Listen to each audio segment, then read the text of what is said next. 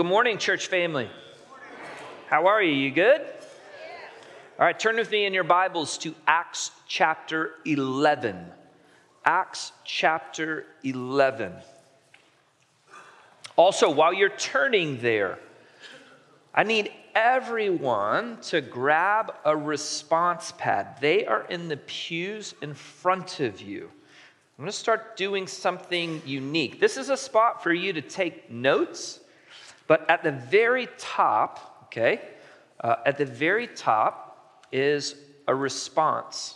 All right? The, the whole sermon, we're going to circle back around to this at the end. I'm going to give you three minutes at the conclusion of today's sermon Okay? And I'm just going to ask you the question what does God want you to do now that you've heard his word, right? How are you going to respond to God's word? I'm going to give you three minutes at the end of today's sermon, I'm going to make this our pattern moving forward. Just pull this out. You're going to write out just kind of your response to the Lord. Okay, in Acts chapter 11, um, is actually a recap of what happened in Acts chapter 10. If you recall, okay, Peter received a vision from God and was told to go. He had a special, that some, some men were going to come and, and take him, go to Caesarea because there was a man named Cornelius. He was an Italian army commander. Okay, and Peter goes to Cornelius's house and preaches the gospel, right? In a sermon that's similar to Pentecost. And during that sermon, the Holy Spirit of God fell right there in Cornelius' house among the Gentiles, the same as he did at Pentecost. And chapter 10 ends with verse 48, and it says, And he ordered them to be baptized in the name of Jesus. And they asked Peter to stay on and all of his friends for several days. Now, many of you were, might have been traveling during spring break. Uh, we divided chapter 10 into two sections, and Garrett and Daniel did a phenomenal job working through that chapter. But there were so many important details that it was impossible to give enough time to everything that needed it. Well, lucky for us, chapter 11 here, the first 18 verses, recaps that story.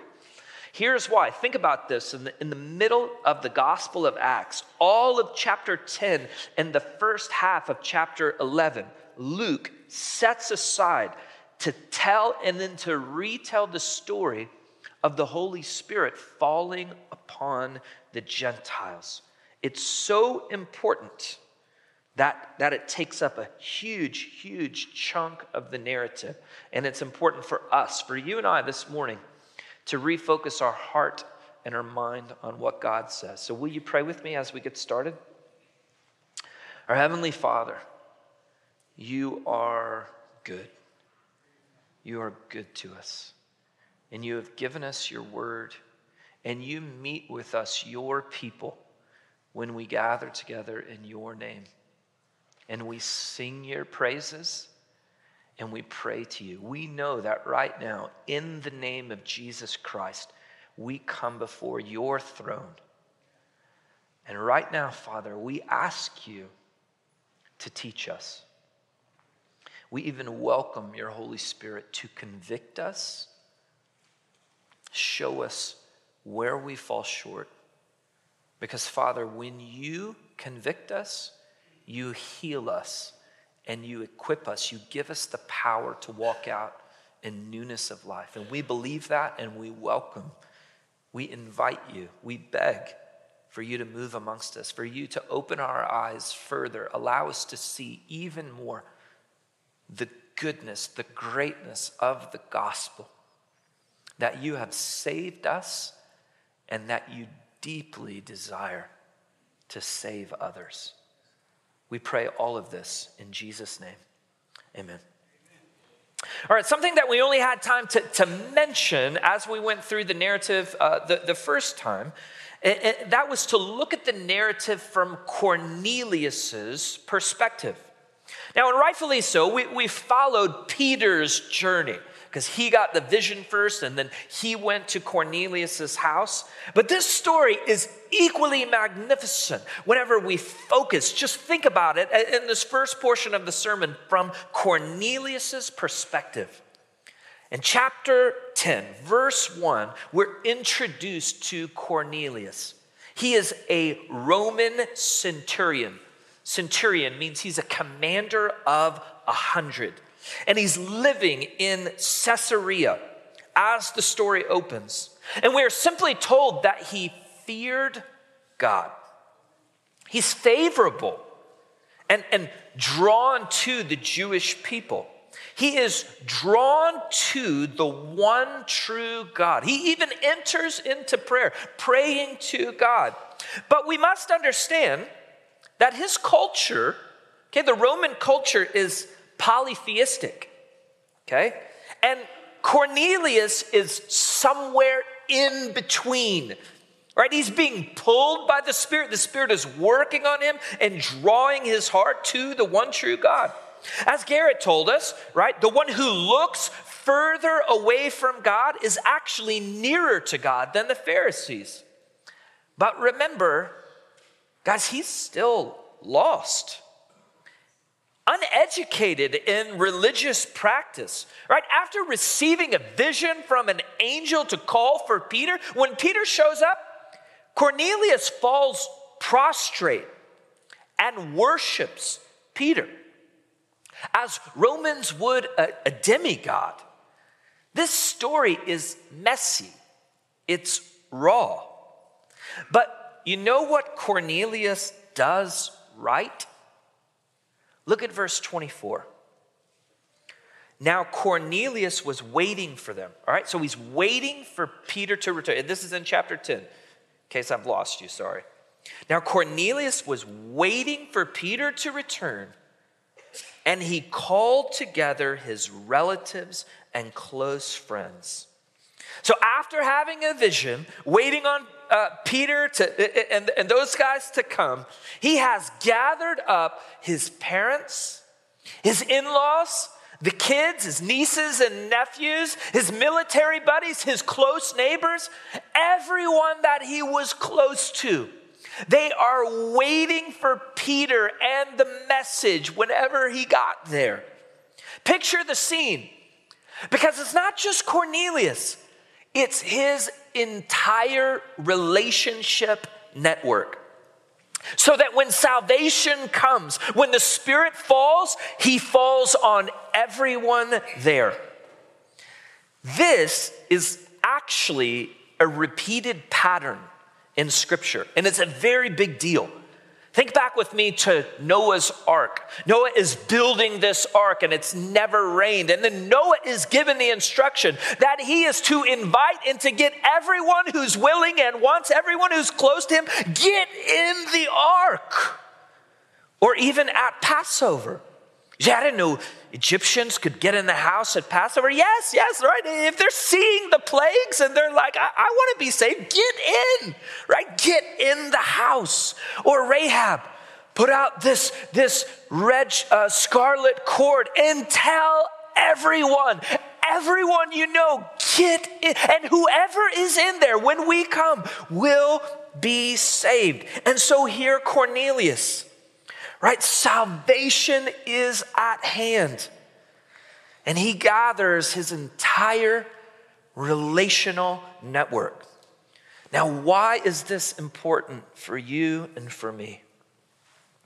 Because your first mission field, as we talk about the gospel going out, our call to the ends of the earth, your first mission field is to those that God has placed you in relationship with those closest to you. Those are the ones that you have the most influence over. All right, when we think of mission field, our minds immediately go to, to other cultures, to going to foreign lands. But our first mission field is to those that we're closest to. Not everyone is called to cross cultural missions. I mean, yes, we are called to it as a church, but we play different roles, right? Some send and others go. But every one of us has a primary first mission field, and that is your relationship network. And one of the most powerful tools that God has given you is your home. In Mark chapter 1, after Peter gets called as a disciple, you know what Peter does? He invites Jesus to his house.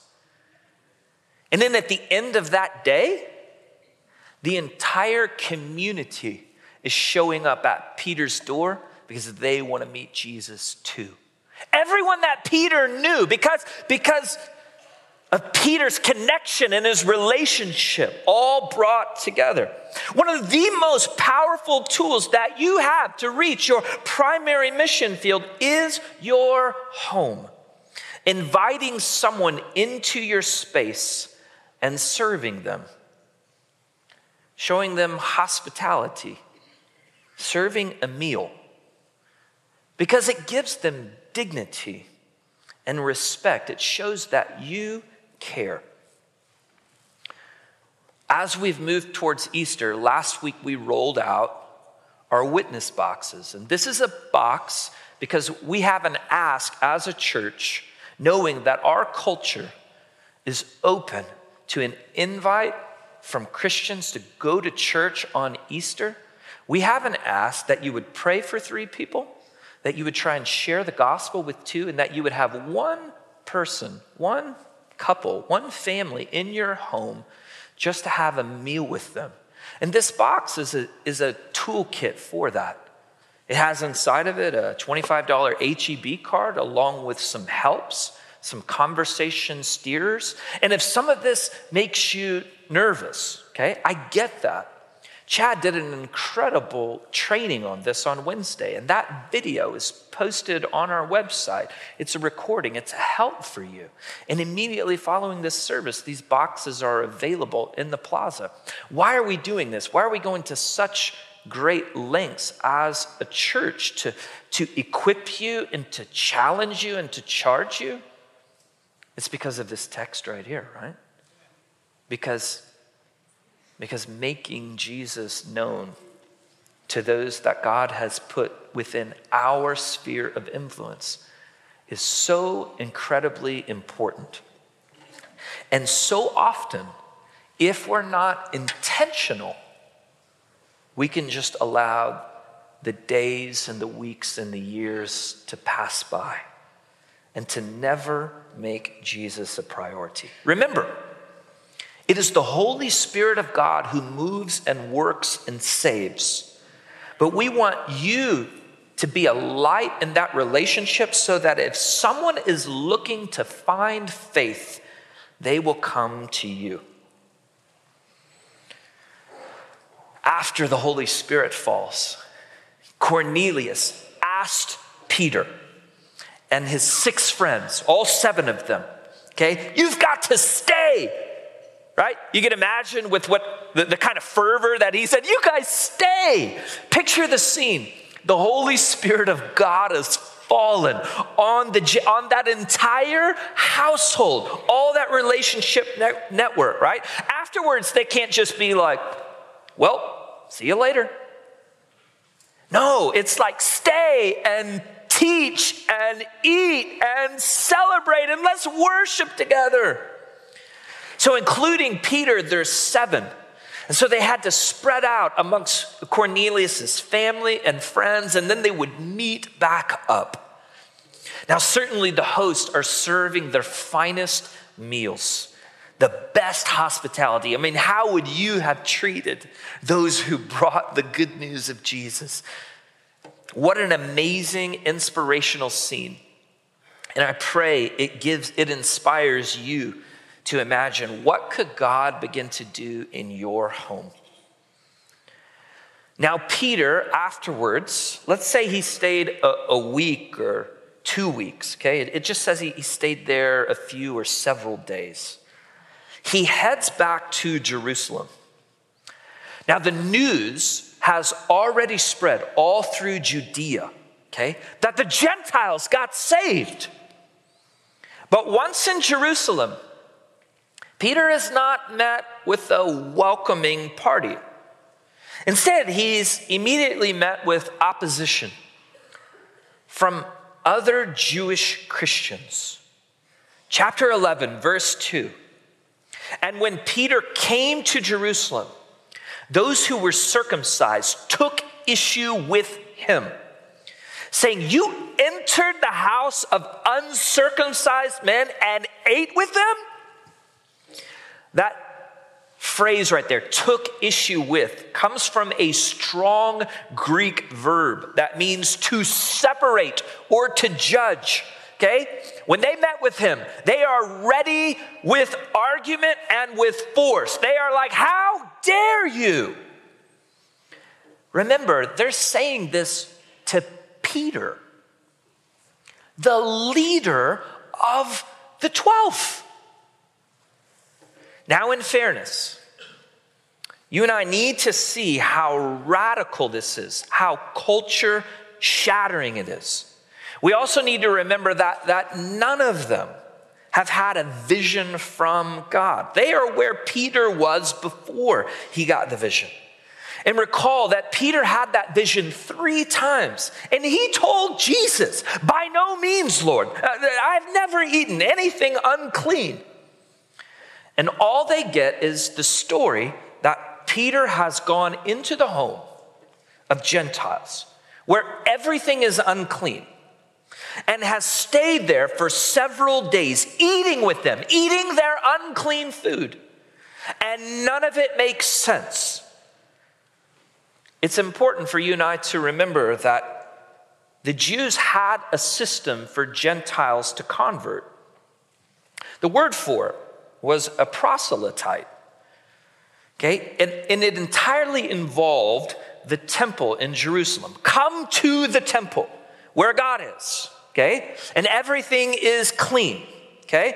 And, and do everything as God has commanded. And then you can become a convert. But you will always be a second class citizen. And even within the Jewish Christian church, right? The early church, they don't know yet. They don't know.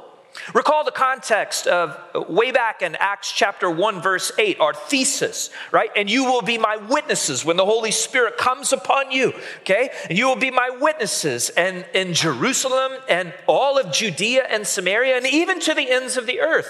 That context of our thesis verse, you, you know what the disciples said right before that? Uh, Jesus is, is now when you're going to restore the kingdom to Israel.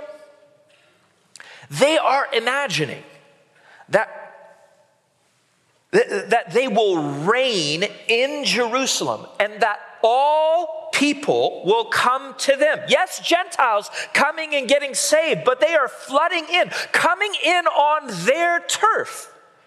It's why the gospel remains in Jerusalem until there's intense persecution and that bubble is burst, until the early church is forced to flee, until God's hand moved them out. And then, as we've seen as we walk through Acts, that yes, the gospel goes to Samaritans, which, by the way, it stretches the early church, but the Samaritans I mean, they still believed in the first five books of the Bible. They were still awaiting the coming Messiah. Yeah, they were half breeds, but, but they still had common ground. And contextually, we see the gospel spreading and going throughout all of Israel, reclaiming the land, and even going to the defected, to the eunuch. But now, Peter is called to the hated city of Caesarea which, by the way, is almost completely Roman and Gentile, into the house of the Roman oppressor, into unclean space. Not coming to Jerusalem, where everything's clean and just as God had prescribed it,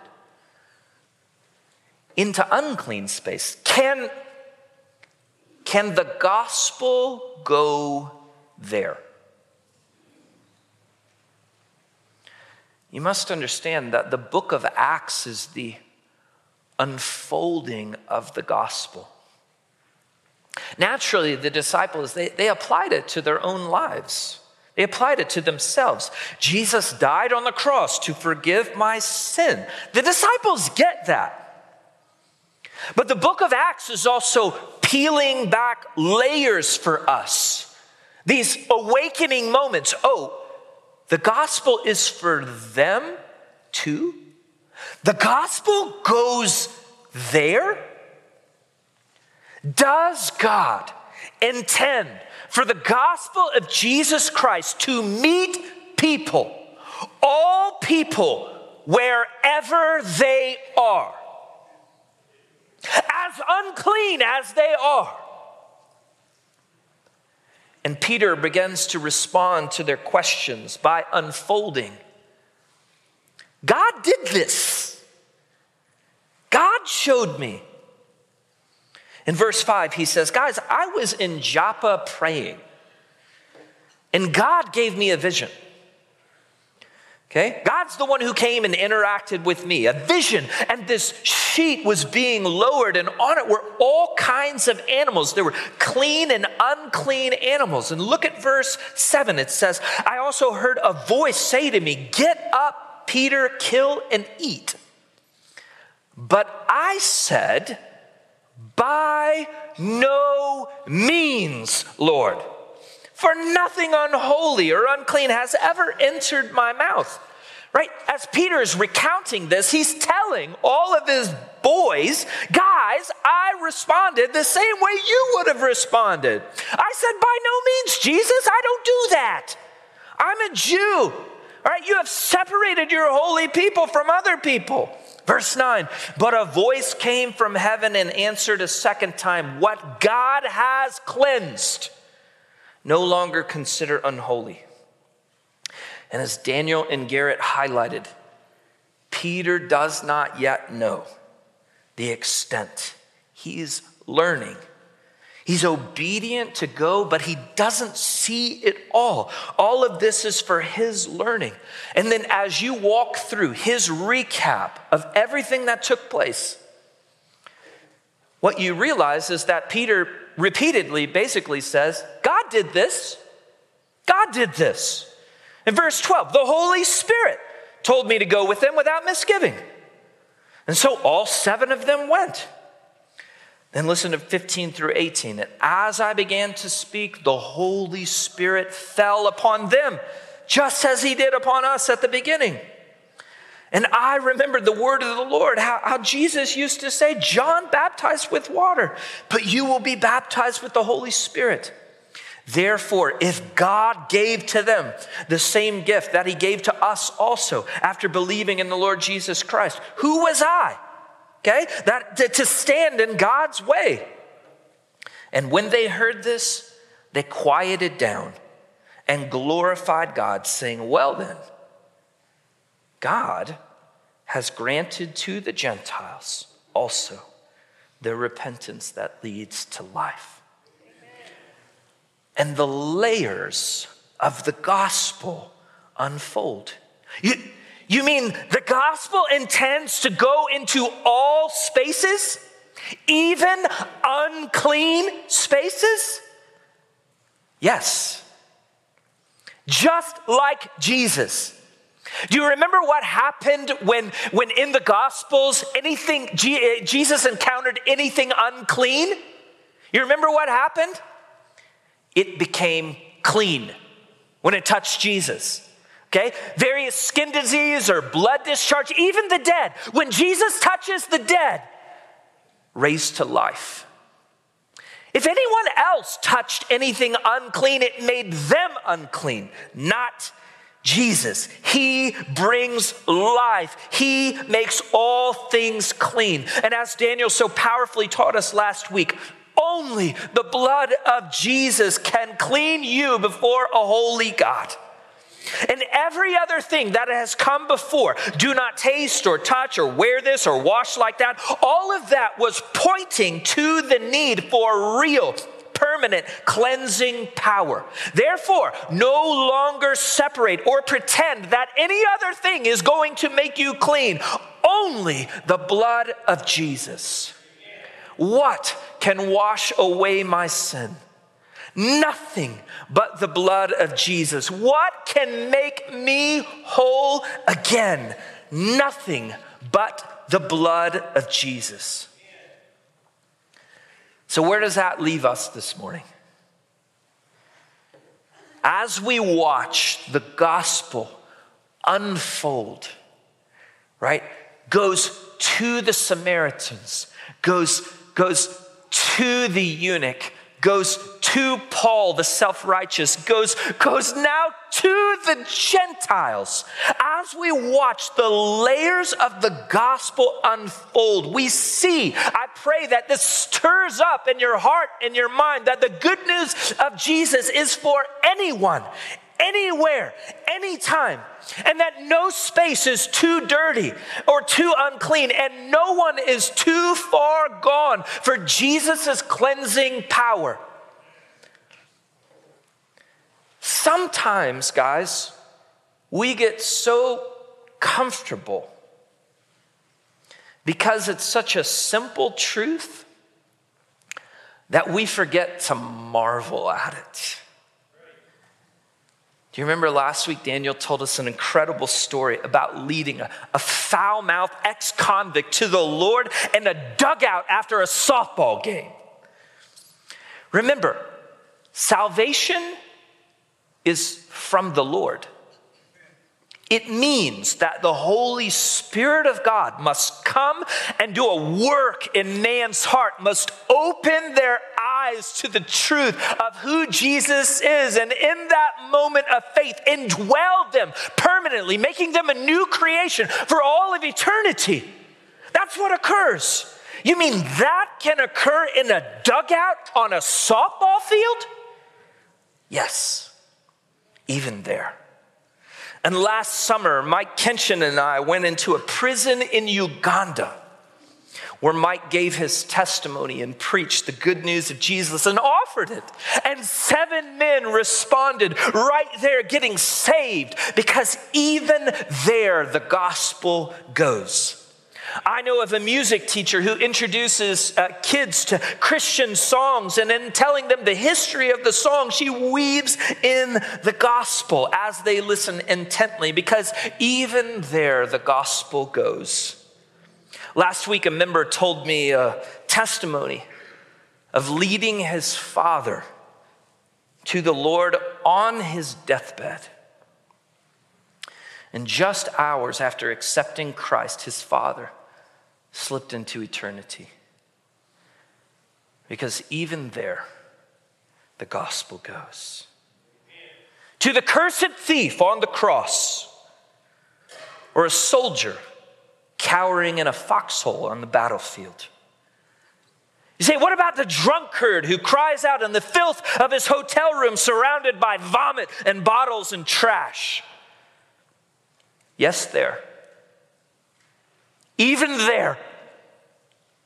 In fact, God has ordained it from the foundation of the world that the gospel goes there.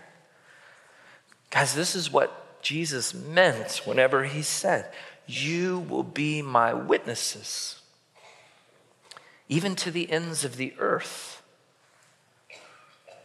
When Jesus said that, what, what, sort of facial expression do you think he, he had whenever he said that to the disciples? You will be my witnesses, even to the ends of the earth. I imagine it, it's something like you don't quite yet understand, but there's this twinkle in his eye because it's going to be awesome. This is God's plan. God's heartbeat, God's movement. As Romans 10 13 says, For whoever will call upon the name of the Lord will be saved. But how then will they call upon him whom they have not believed? And how will they believe in him if they have not heard? And how will they hear without a preacher? Without someone to tell them? And how will they preach unless they are sent? Just as it is written, how beautiful are the feet of those who bring good news of good things. Even if it's feet that just walk across the street or walk to pick up a phone to make an invite. One of the major tragedies of the Titanic was the lifeboats that are designed to save people from a sinking ship were only half full. You see, people who had made it to safety did not want to turn around and go pick up those who were dying. They didn't want to risk the, the, the panicked people flipping over their boat. 700 people didn't have to die, but they did. Because the folks who were saved didn't want to go back because it was too risky. Sharing the gospel has risks the risk of rejection, the risk of being made fun of, the risk of being called holier than thou, the risk of being avoided, the risk of being asked questions that you don't quite know the answer to. Yes, there are risks. But when someone is dying, offering them the gift of salvation, it's worth the risk.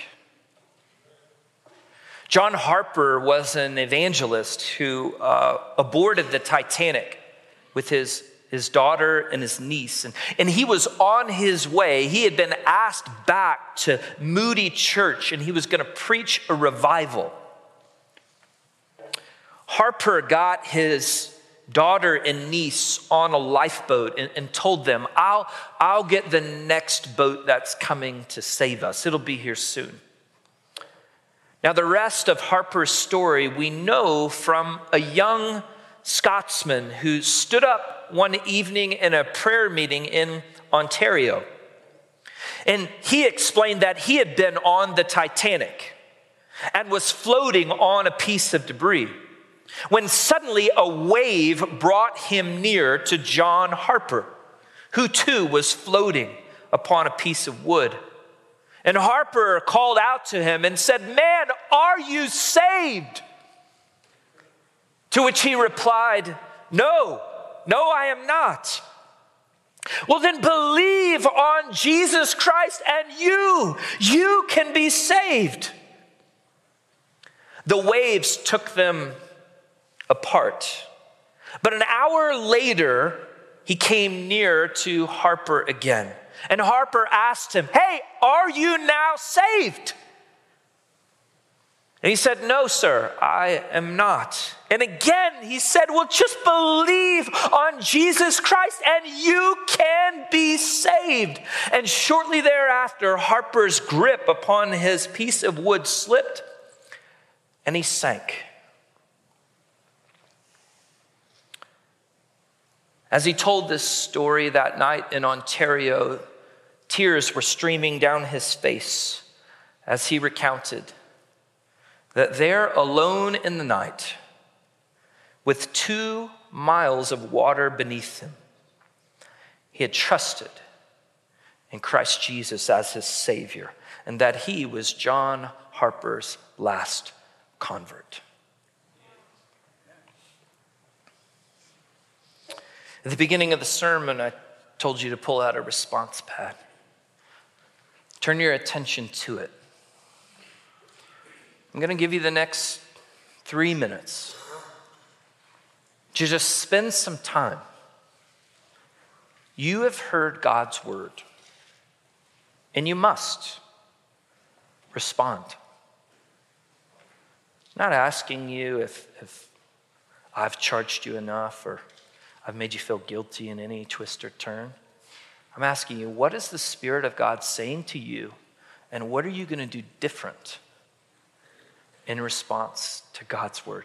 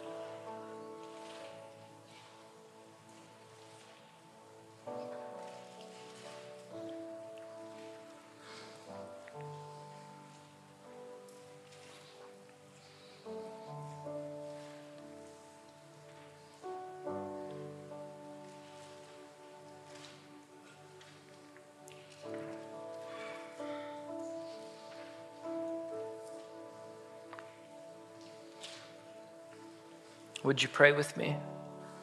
Our Heavenly Father, we bow before you, eternally grateful for your Son and for those who brought the good news to us so that we could know you, so that we could be saved. Thank you, Jesus, for the joy and delight that you have in making us your own. We long to walk worthy of you. We long to be used by you as your hands and your feet wherever you would use us. Give us the courage, the strength, the boldness. Equip us, kindle a flame in us that does not die down. Because while there is still time and while it is still called today, you are patiently calling all to yourself. It's in your name we pray, Jesus. Amen. So at this time, the praise team is going to come and lead us in a final song. We'll have ministers down here at the front who would love to pray with you. If you want to take, maybe you wrote out a prayer on your response card. You want to take that, you want to fold it, you want to leave it on the altar. Maybe you want to tear that off and keep it with you all week as you remember, right? Walking out in faithfulness. If you are here this morning and you have never received Jesus Christ as your personal Lord and Savior, as John Harper, men, women, are you saved? Come. Today is the day of salvation. All you have to do is call upon the name of the Lord and believe in his finished work on the cross, and you too can be saved for all of eternity. I would want nothing more than to be able to explain that to you in depth.